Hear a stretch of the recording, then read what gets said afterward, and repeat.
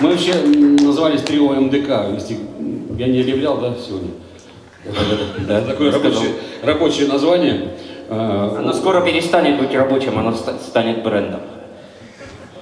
Вот, человек, он постарше меня, да. Больше видел, больше знает. Кстати, э, Раф Минеев играл в свое время с Рэем Чарльзом. Вот. Это... Рэй Чарльз, кто не знает, ну давайте по-простому скажем, что он лауреат 17 пре- премий Грэмми.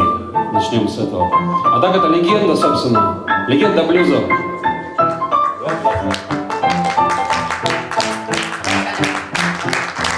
Thank